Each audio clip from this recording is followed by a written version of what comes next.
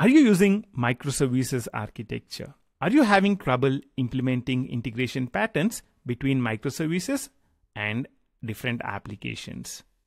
Enterprise integrations can be very complex.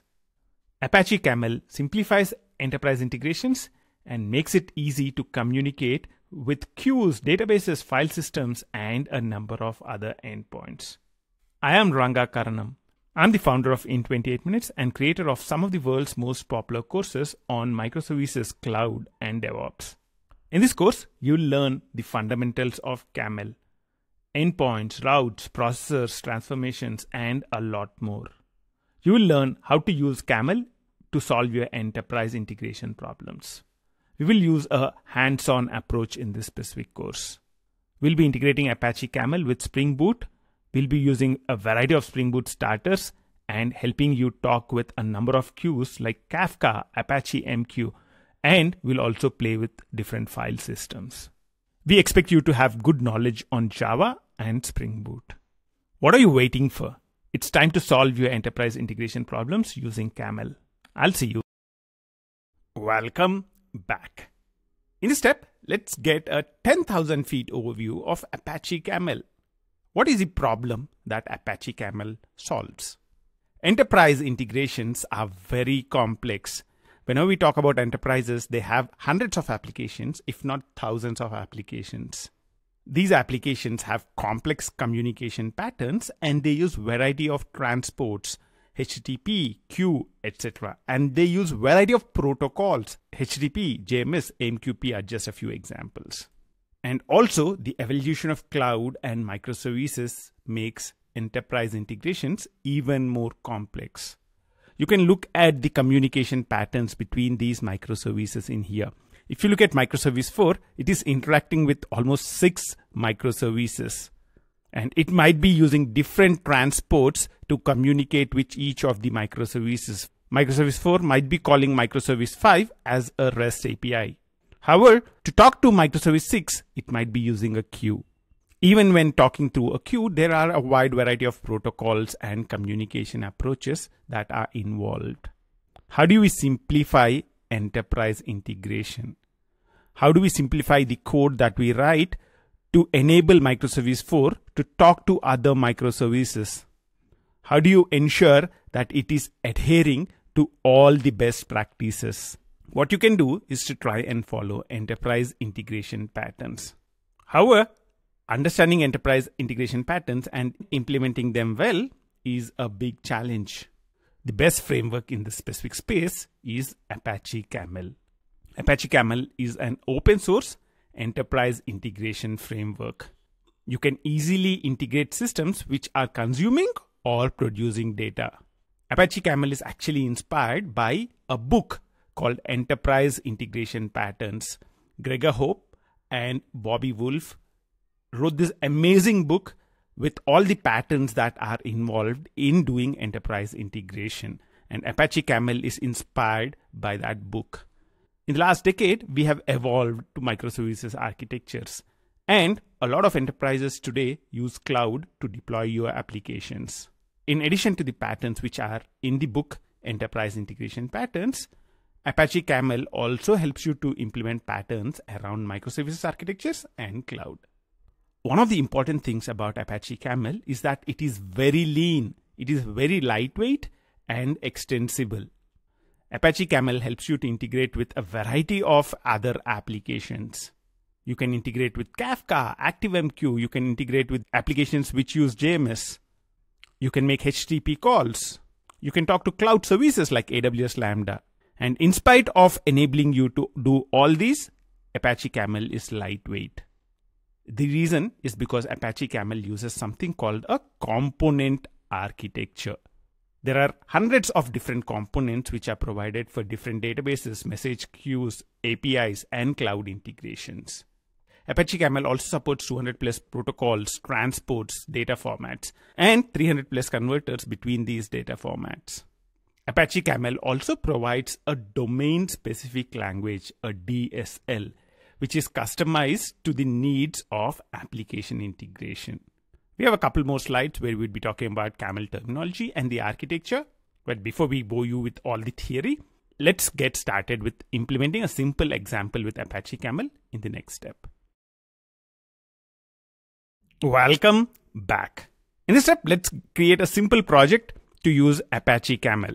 What we'll do is we'll use Spring Boot to simplify the configuration around Camel. So I'm on my favorite website on the internet, start.spring.io, and let's go ahead and create a Spring Boot project that helps you to use Camel. So I'm choosing Maven.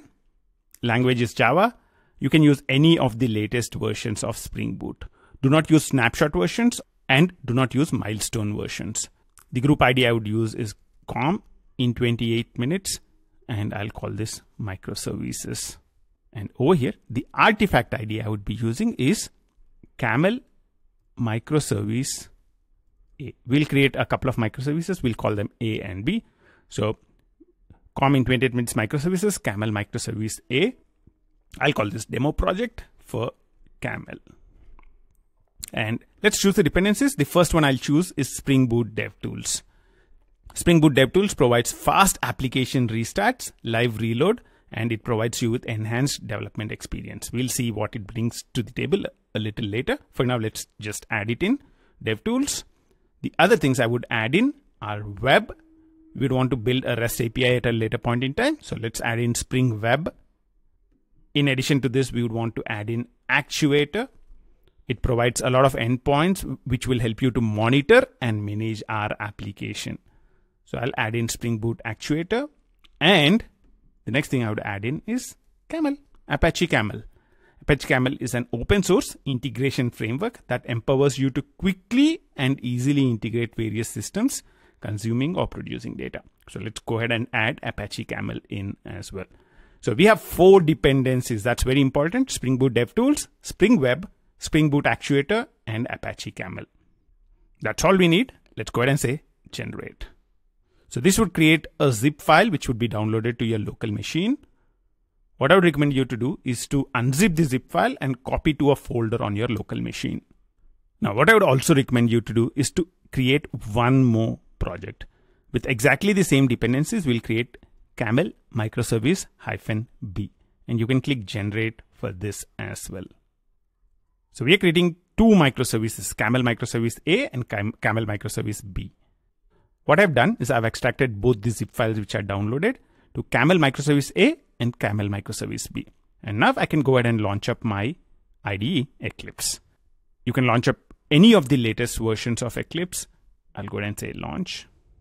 Now we are on the Eclipse welcome page. I'll close the welcome and over here I can import projects in.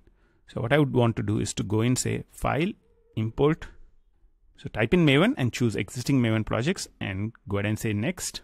And now you can choose the directory where you unzipped your files to. I've unzipped the projects to camel 02 projects. I'll say open. And this should bring up two projects, camel microservice B and camel microservice A. And you can go ahead and say finish. So this would import both the projects in. If this is the first time you're using that specific version of Spring Boot, or if this is the first time you're using Camel, the download would take a little while. If you click the arrows in here, you should be able to see that it's importing all the projects in. If you have any problems with the import, then make sure that you are using the latest version of Eclipse IDE.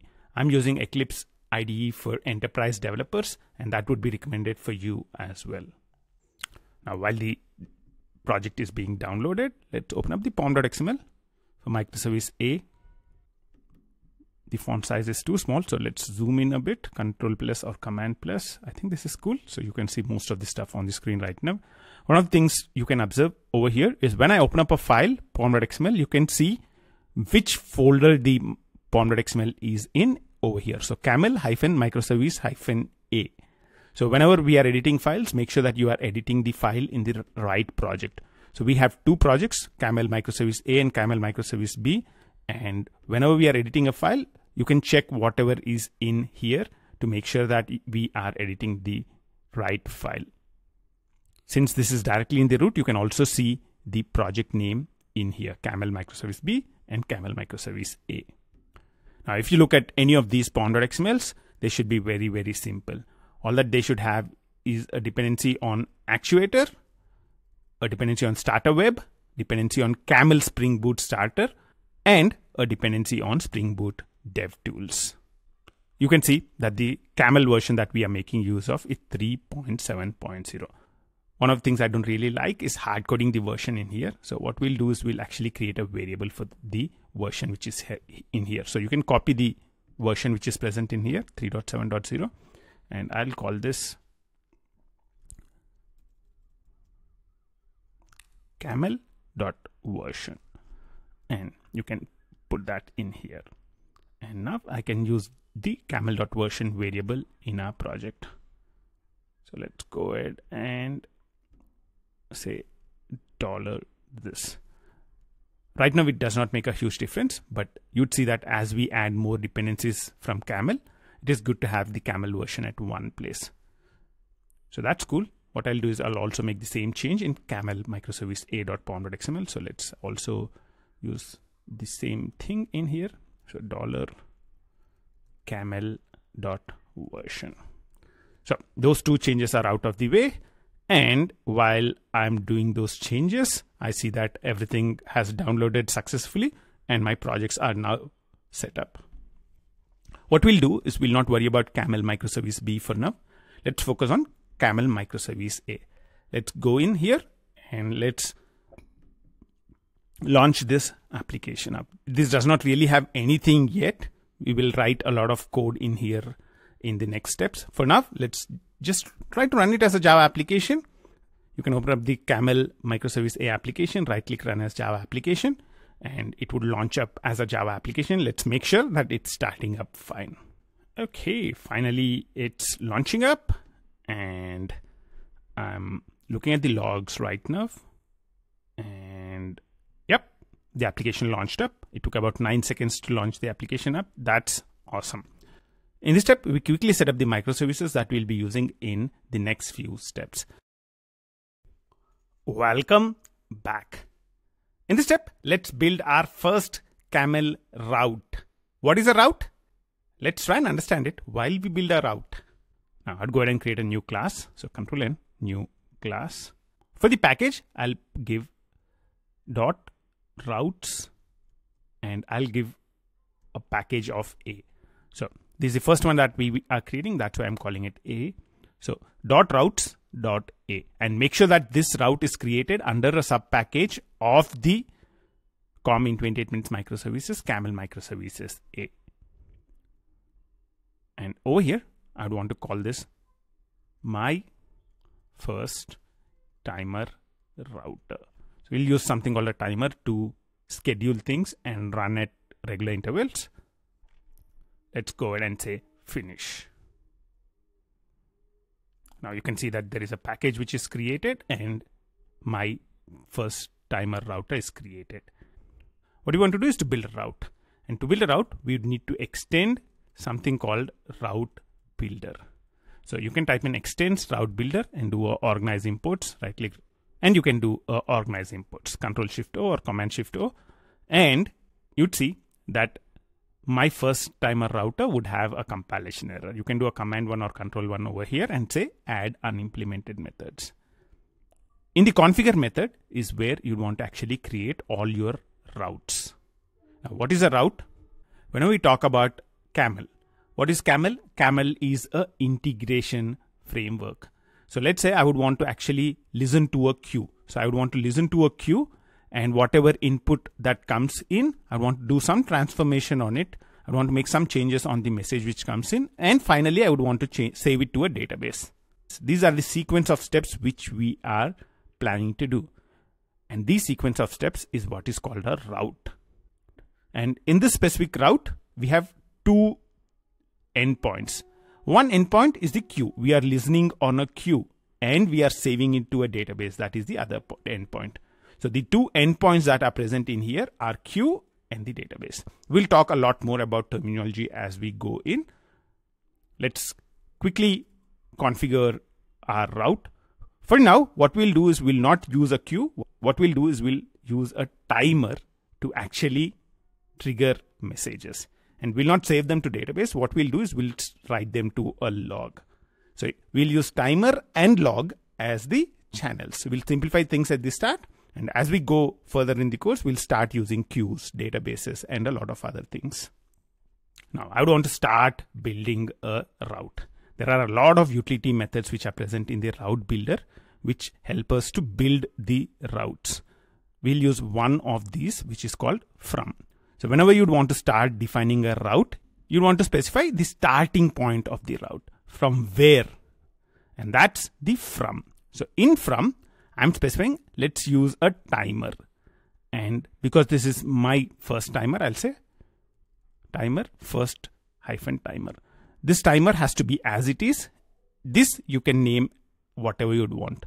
So what we are creating in here is something called an endpoint. This is a timer endpoint. We are listening on the timer endpoint. And what do you want to do? Whenever there's a new message on the timer endpoint, what do you want to do? We would want to actually send it to a log. So to, we want to configure another endpoint in here. We want to send it to a log and I would also call this first timer. The log and the timer, the timer in here and the log in here are keywords. The first timer is the name that I am giving in here. Let's see what would happen if I put a semicolon in here and save this you can see that the application is immediately picking up the change. This is because of dev tools.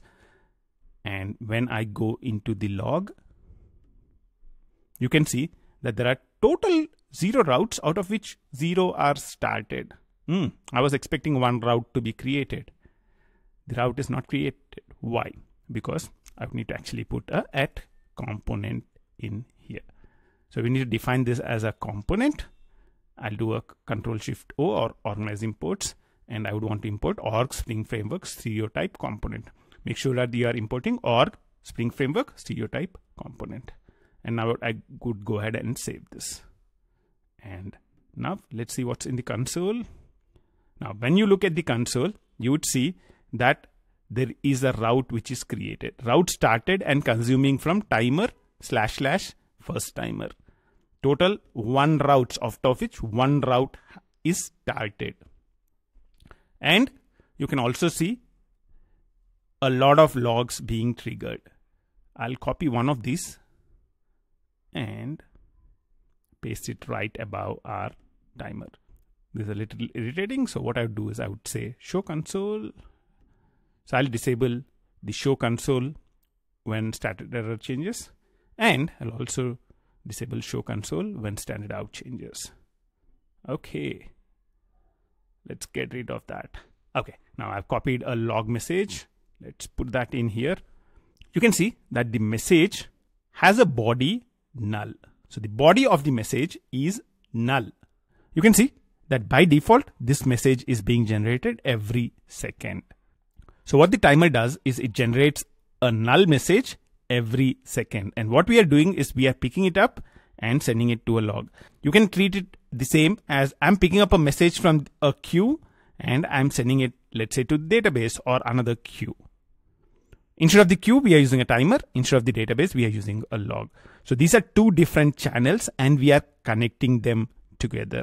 And in between connection of the channels, you can also do things for example, I would want to actually transform this specific message.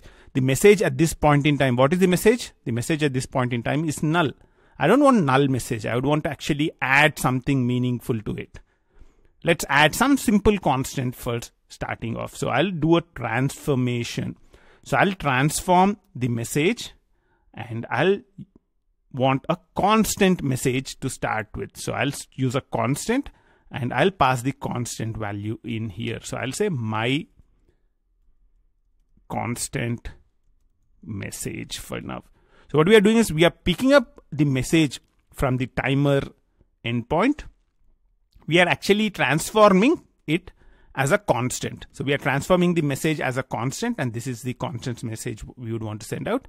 And we are now sending it out to the log. Let's save this and let's see what would happen now. Let's go back to the console, wait for the change to be picked up. And now, if you go and look at it, the body is my constant message. So we picked up a message, a null message from the timer endpoint. We transformed it and sent it to the log endpoint. You can actually do a lot of things like this. Let me comment this. Instead of just a simple constant message, let's say I would want to actually add date time to it. So I'll say constant and I can say time now is local date time dot nav. So this would give you the current time. Local date time is from Java 8. So if you're using Java version less than 8, this will not work. You should find some other way of doing it. But from Java 8, this code should work. I'll save. Save. Let's see what would happen now. Do you think what message would be printed? Aha, you can see that the time now is some time, but you can see that for all the messages, the time is the same. Why? Because this is actually using a constant. So what we are doing in here is creating a constant. Time now is whatever is the time at the evaluation time of the constant is being used. In this step, we started playing around with a simple route. We created one route with timer and the log as the endpoints. And we were also playing with a few constant transformations. Things in the real world will not be really this simple. In the next steps, let's see how to actually use Spring Beans as part of our transformations. And we'll also see how to pick up messages from queues like Kafka, ActiveMQ, and a lot of other things. Welcome back. In this step, let's continue our discussion from the last step and see how we can actually make this message dynamic. One of the options that we can do is actually create a bean to generate that message. Let's say I would want to create a bean in here. I'll say add component. Do not forget add component in here. And I'll say class get current time bean. And over here inside this specific class, I would want to create a simple method. Let's create one public string get current time. And let's return time now is local datetime.nav. So we are creating a very, very simple bean. And what we want to do now is we want to do transformation using that specific bean. What I can do is actually say dot bean and I can say the name of this specific bean. Most important thing, it should be get with a lowercase. Whenever Spring is doing a component scan of this particular package, it would find this component. And what it would do is it would create a bean with the name get current time bean. And that's the reason why we are saying it in here as get current time bean. And let's save this. So we are using a Spring bean to do the transformation. And this bean would be invoked each time it receives a message on this specific endpoint. So let's see what would happen now let's see the time. You can see that the time in each of the messages right now is different. 985471, 7524, 2953, 7025, 1340. So that's working. One of the important things for you to understand is when you pick up a message from the queue, you'd want to typically do a lot of transformation around it. Only after performing certain transformations or processing, you would send it out to a database or another queue. Over here, what we are doing is creating a simple component. Typically, whenever we talk about real-time applications, this would be really complex logic. Over here, to simplify things, I'm creating the get current time bean directly in here. Ideally, this should have been in a separate package of its own as its own public class. One bad practice that we are following in here is we are having this bean name dependent on the name of this class. If somebody goes and renames this class and forgets to change the bean name, it would start failing. How can we avoid that? One of the best practices when it comes to using beans in a route is actually the better way of doing this would have been to do auto wired and create a reference to the bean in here. So I would say private get current time bean, get current time bean. So we are auto wiring the bean in I'll do unorganized imports and and instead of doing this now I can actually do this so bean get current time bean. Oops, there's a typo in here. So get current time bean. Let's fix that. Now I have this saved. That's cool. That looks good. Let's save this and let's go and see what's happening in here. Cool. I see things continue to work as usual. Now, there is one another thing which is very, very interesting in here. We did not configure get current time anywhere in here, right? So method name we did not configure anywhere in here. If you want, actually, you can even configure get current time as the method name. You can pass it in here as well. So get current time as the method name. You'd see that it would continue to work as usual. And if actually pass in a different name, let's say get current time one, what would happen? You'd see that it's failing. So method with name current time one does not exist. So method not found exception. And when you have just one method, then there's no problem. You don't really need to specify the name of the method. But when you have more than one methods in your bean, let's say there are a couple of other methods like this, then you need to go ahead and specify which method you'd want to invoke inside a specific bean. There are two types of operations that you can do within your specific route. One is processing, the other one is transformation. What is the difference between processing and transformation? Let's say once I receive a message, I want to do some operation or something which does not make a change on the body of the message itself. That is called a processing. However, if you are doing anything that changes the body of the message, then that is called a transformation. Over here, what we are doing in here is dot transform dot constant. We are transforming the message from null to constant message. The body of the message will change after that. So if I go in here and say dot log, over here, let's say I'm doing a dot log and log the body of the message. The way we can do that is by within double quotes, put dollar within parenthesis put body. So I'm logging the body after from and I'm also logging the body after transform and I'll also log the body after dot bean. Let's save this. So these are the three things that I'm seeing in the log. Null is the first one, my constant message, and then this one. So when we did this, it was printing null. So over here, it's printing null. Over here, after the my constant message, it's printing my constant message. And after the processing of the bean, it's printing the time is something. So the time now is something. Let's put that in. So each of these operations where we are using a bean and we are using the transforms these are all transformation operations because the body of the message is getting affected. In addition to transformations, you might want to do just some processing. You, you might want to take the body of the message. You'd want to do some processing with it and not really worry about changing it at all. Let's create a component like that. Let's just create a simple component. So let's just call it, it let's say it does not do anything like simple logging processing component. So this one, if you look at it, simple logging processing component, what I would do is I would actually say process. And the processing component does not need to return anything back. And the input to this can be the body of the message. So I can say string and I'll say message.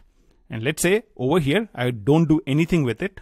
All I do in here is say private logger logger is equal to logger factory dot get uh, get logger for this specific class so this dot class and let's just say I would logger log some message logger dot info and let's do dollar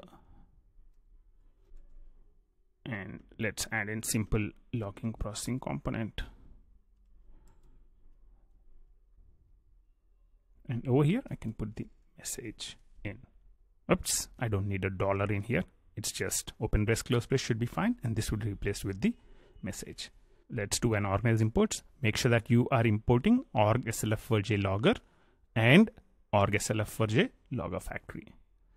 And you should see that the compilation of the class would succeed. And now I would want to actually make use of this simple logging processing component to process our thing. So I can say at auto wired private simple logging component. I'll just call this logging component. Let's say in addition to doing logging to the log you are doing some special processing in here. Or you are doing some logic and finally saving it to a database or something of that kind. So those kind of processing you can do in your beans as well. Over here I can do dot bean and pass in the login component. You would see that if I do a log body after the logging component, there will not be any change in the body. Go to the my, let's go to the console and see what's happening. You can see that even in the simple processing component, we are doing a simple log, but after the logging, there is no change in the message. The message remains, the body of the message remains exactly what it was before. The important difference between these two components, the get current time bean and the simple logging processing component is the return type of the methods. You can see that over here we are returning a string back. In that kind of scenario, the body would be changed to whatever is returned back from this specific method. However, over here we are returning a void back. And when we are calling a bean method with a void, then it means we are doing some kind of processing in here. Whenever you're doing operations as part of the route, you'd want to either do some processing or you'd want to do some transformation. And that's what we looked at in this specific step. There are a lot more details that you need to understand about it. Let's dig deeper in the subsequent steps. Welcome back. In last steps, we talked about processing and transformations, and we looked at a few options of doing it. Whenever we talk about transform, we saw that there was a method called dot transform, and dot transform can be used to do your transformations, or you can also call a bean to do your transformations. And we also saw how we can actually do some processing using a bean. In addition to using a bean, you can also do processing of a message by creating processors. So you can say process. So you can say process dot process and you can let's say create a new simple logging processor.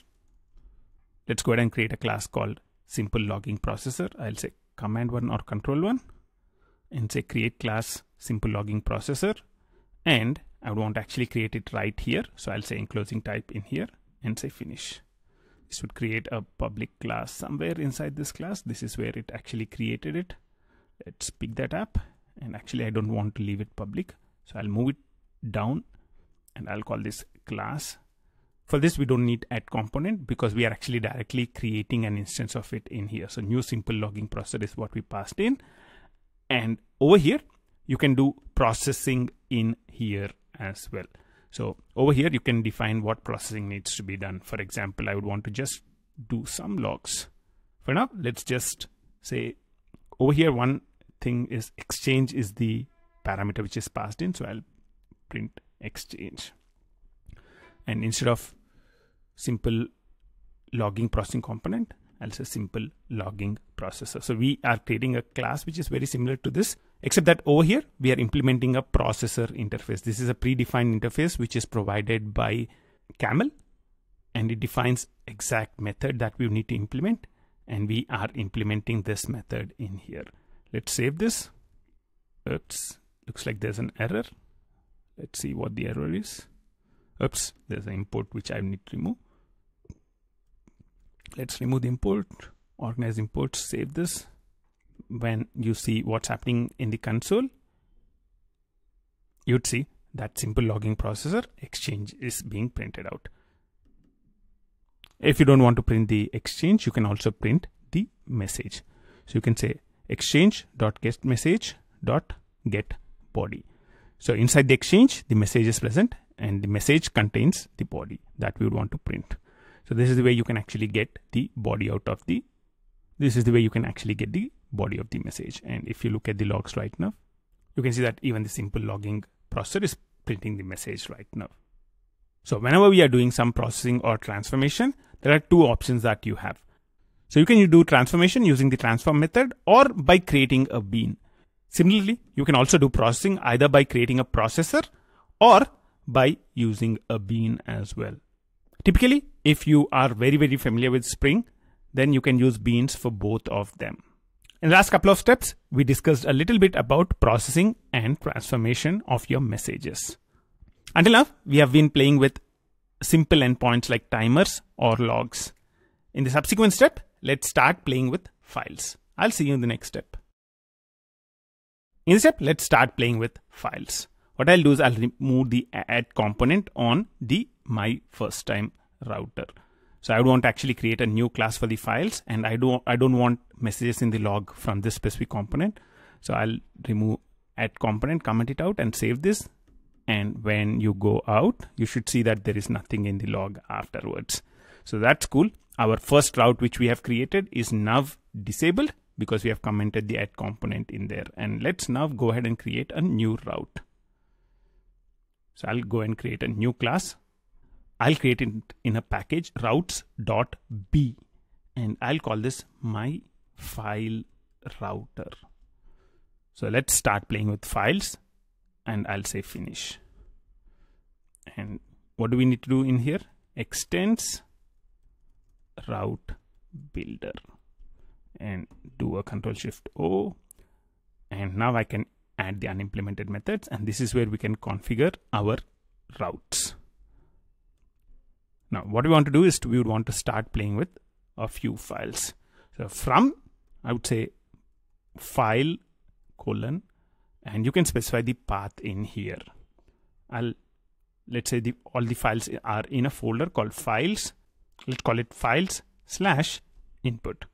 Let's pick up all the files from a input folder and let's quickly move it to an output folder.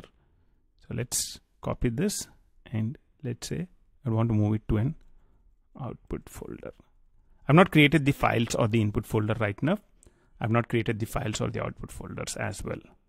So let's actually go in and save this route. So we are creating a simple route. Whenever a file is placed in input folder, move it to the output folder. Let's save this. Let's see what would happen. If you do a refresh on the project, right click, refresh. Is this sufficient?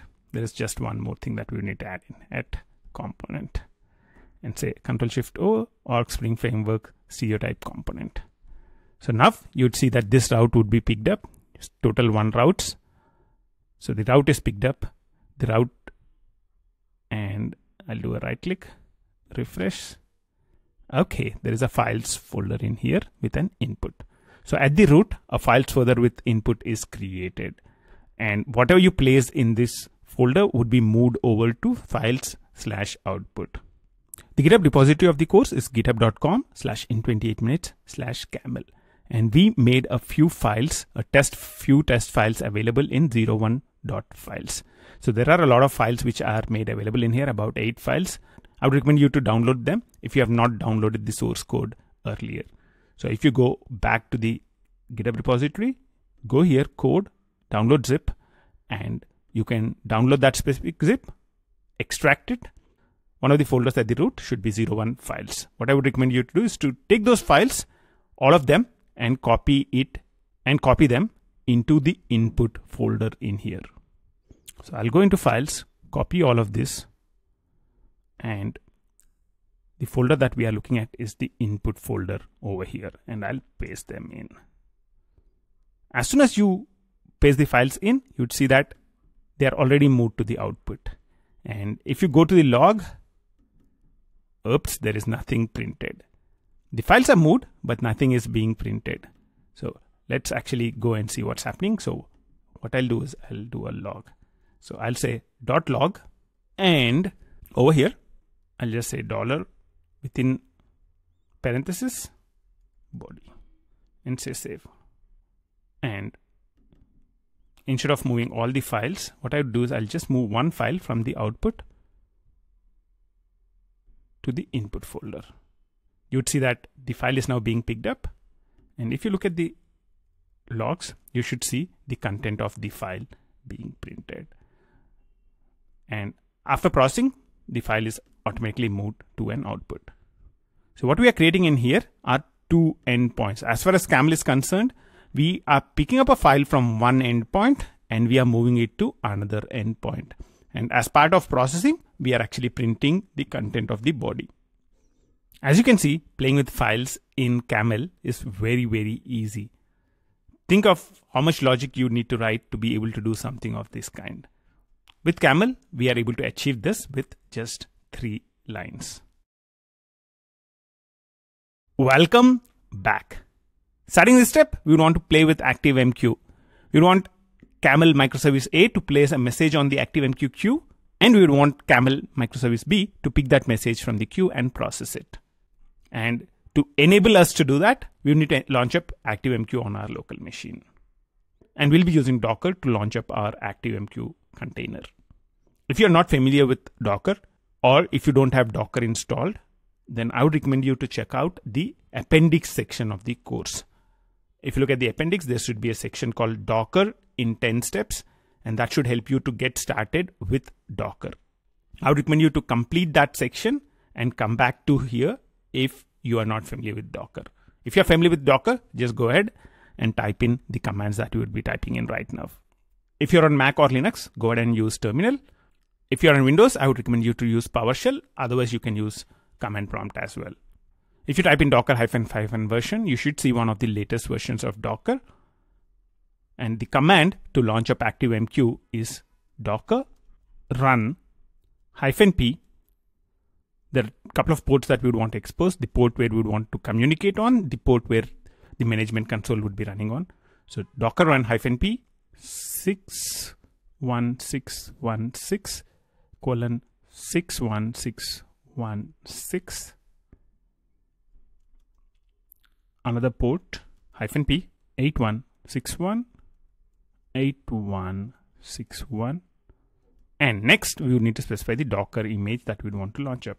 The one which should be launching up is rmohr slash active mq if you do a google for this rmohr slash active mq what we are using is the command which is present in here. Docker run hyphen p 61616 8161 rmohr activemq so the jmx broker will be listening on 61616 and the web console on 8161 and this is the docker image that we would want to use to launch up activemq so you can see that these are versions of activemq packaged into docker images if I press enter in here, you can see that I do not have ActiveMQ image locally. So it would actually download the ActiveMQ image. The download would take a little while. And within a small while, it would start it up. The download of the image is taking about two minutes until now. And finally, the pull is complete. And now it's launching up ActiveMQ. Awesome you can see that the ActiveMQ web console is available at a specific URL. I can actually go in and type that in the browser. It launches up the ActiveMQ console and I would want to manage ActiveMQ broker. This would ask you for admin username and password. It's admin and admin. And you can go in. And once you go in, you should also be able to see the queues which are present right now. You can see that right now there should be no queues that are present. What we want to do is we would want to actually create a queue and have one of the microservices put the message in here and the other microservice help us to pick up a message from here. How can we do that? Let's see that in the next step. Welcome back. What we want to do is we would want to have the camel microservice A put a message on the active MQ. Let's see how to do that in this specific step. Let's say we would want to put a message every few seconds on the queue. Let's create a router for that. I'll do a control N. I'll create a new class and I'll create it in the package dot routes dot c and I would call this active MQ sender router. And I'll say finish. And this would extends route builder. Let's do a control one import it in and again control one or command one and add unimplemented methods and let's go and implement it in here. Now what do you want to do in here? We want to trigger a timer and in regular intervals we want to put a message on the queue. So the timer is one endpoint queue is the other endpoint. So from timer colon let's say let's just call this active mq timer. To the timer you can also configure a period. So you can say how often the message should be created. I'll say timer is equal to 10000 so 10000 milliseconds. Actually it should not be timer. It should be period. We are configuring the time period as 10 seconds. And what I would do is I would for now just generate a constant message. I'll say transform dot constant. I'll call this my message for active MQ. And we would want to, where do we want to send this? We would want to send this to which endpoint? We want to send this to the queue, active MQ and colon my queue or I'll call this my active MQ queue and put a semicolon at the end. Let's add an add component in here. Let's do an organize imports and import org spring framework stereotype component. Now, what we are doing is every 10 seconds, we are generating a message and putting it on the queue. Now you might be wondering, this queue is not already present on the ActiveMQ queue. How would the queue be created? Before that, what we'll do is we'll go ahead and say save. So now I've saved this and it would pick it up and there's an error. So no endpoint could be found for ActiveMQ. So you can see that the component for this specific endpoint is not found. Earlier, when we use the timer endpoint or the log endpoint, these endpoints are already defined as part of the core classes in Camel. And that's the reason why you don't really need to import anything to be able to use them. However, as we discussed earlier, Camel wants to be lean, that is lightweight and extensible. So it only imports some of the endpoints and keeps the footprint very, very low. If you want to actually use any other endpoints like queues or databases, then you would need to import explicit dependencies for them. And these dependencies are provided by a number of components. And that's what we would be importing in right now. I'll open up the pom.xml. Make sure that you're opening the pom.xml for Camel microservice A. And in the pom.xml of Camel microservice A, we would configure another dependency. The dependency that we would be configuring is similar to this. So I'll copy this Camel Spring Boot starter So I'll copy this in and the starter is camel. Do you want to guess? Instead of Spring Boot, ActiveMQ. And make sure that you're using same camel version for both camel Spring Boot starter and camel ActiveMQ starter. And you can go ahead and save this.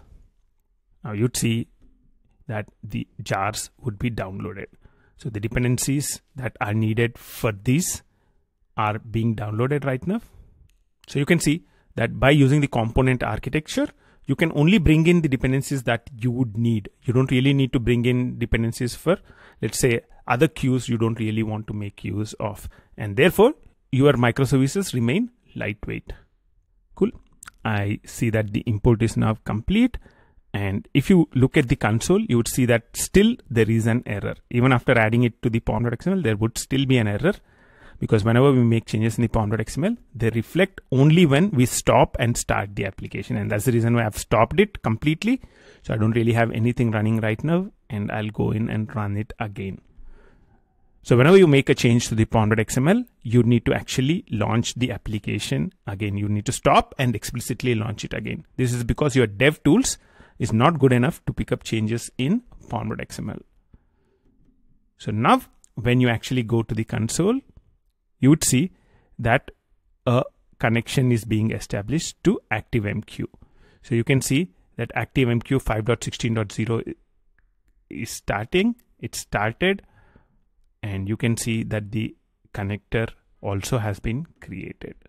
Now there is one more configuration that you need to do in the application.properties before we can use the ActiveMQ queue. That's the URL of the broker. So it's spring.activemq.broker-url is equal to tcp colon slash slash localhost 61616. Earlier when we launched up the Docker container, one of the ports which we opened up was 61616. And that's the port we are making use of to connect. So now you can save this, make sure that you stop and restart your application. Now, once you restart your application and check that there are two routes out of which two are started. If you don't see two routes are being started, make sure that you have ActiveMQ sender route with add component enabled, which is present in here. So this is one thing to check. In your pom.xml, you should have ActiveMQ dependency, and in application.properties, you should have ActiveMQ broker URL. These are the three things that are important. And once you have all of them running, you should see that when you go to the queues in ActiveMQ, there is a queue which is created, my ActiveMQ queue. And you can see that there are few pending messages in here as well. There are no consumers registered. There is nobody consuming these messages yet, but as you can see, every 10 seconds, a message is being put in there and it would keep increasing. Now, for us to know when a message is being sent, what we can do is actually do a log. So you can say log and let's just put a body in here. So log the body out and let's save this. And now when we see the console you should see something printed out. So every 10 seconds you'd see that this message is being printed out and when you go to ActiveMQ you should see the number of pending messages increase all the magic of creating a connection to ActiveMQ, creating the queue, all these things are happening because of Spring Boot auto configuration. Eh, Spring Boot auto configuration enables you to just focus on the business logic. You don't really need to worry about what is being configured and things like that. Now, we are able to successfully put a message on the queue. However, what we want to do is we would want to also take the message from the queue and process it. Where do we want to do that? We would want to do that in microservice B. And that's what we would be focusing on in the next step. I'll see you in the next step. Welcome back. In the previous step, we put a message on ActiveMQ. And in this step, we would want to actually process it from microservice B.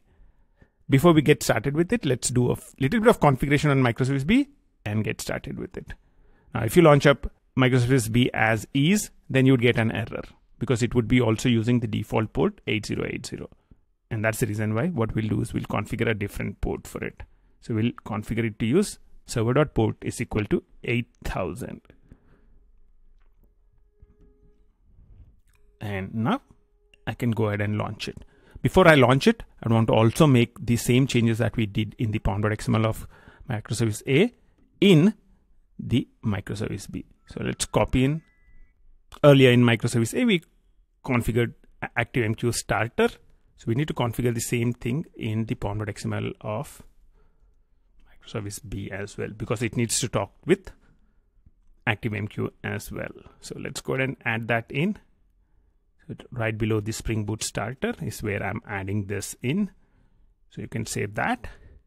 And let's also copy the broker URL into application.properties of camel microservice B. So over here, Camel microservice B, source main resources application properties also has this. So both the application properties have the ActiveMQ broker URL right now. And now I can go ahead and start up the application. So I'll go in here, right click, run as Java application. Let's see if this launches up fine. it should not take a long time to start up. Yep about eight seconds. And you can see that apache camel is started but there are no routes that are configured. That's cool. Let's configure the routes right now. So I'll create a new class. And let's call this active MQ receiver router and I'll create it in a package routes again. So camel microservice b dot routes. Let's say finish.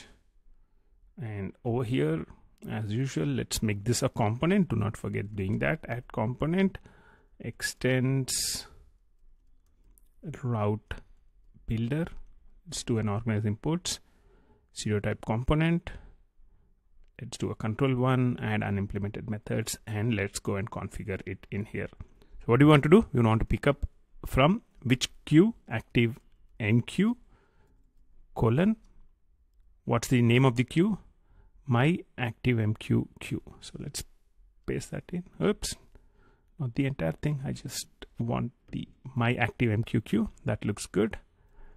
I would, for now, let's just say to log colon received message from active MQ. Let's put a semicolon at the end. Cool. Let's see what happens. Console. Oops, you can see that there are a lot of messages which would be received.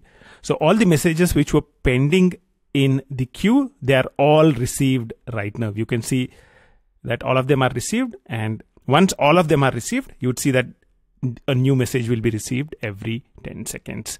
So I received a last one at 1923.58 and the next one at 1924.08. So every 10 seconds, we should start receiving a message from ActiveMQ.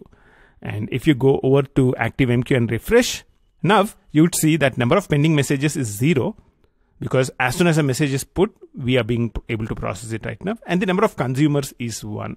So we have one consumer look, looking at the messages and processing them. The other thing you can see in here is also the total number of messages which were placed until now. So you can see that until now there are about 49 messages that are placed and dequeued, which are placed and processed. So that's awesome. So now what you can see over here is that we are able to process all the messages from ActiveMQ. We were able to put messages and we were able to process messages as well microservice A is putting the messages in and microservices B, microservice B is processing them. In the last few steps, we looked at multiple endpoints. We started with timer endpoint, we looked at files, we looked at log, and now we are actually looking at ActiveMQ endpoints as well. You can see that irrespective of whether you are playing with ActiveMQ or files or log, it is very, very easy to do things with Camel. All that you need to do is to configure the route with the right endpoints and the right processors that's all. Everything is automated for you. Camel enables us to focus on our business logic. In the subsequent steps, we'll actually play with a lot more examples. We'll also look at Kafka. But before that, in the next step, let's get a theoretical overview of what we are discussing. I'm sure you're having a wonderful time, and I'll see you in the next step.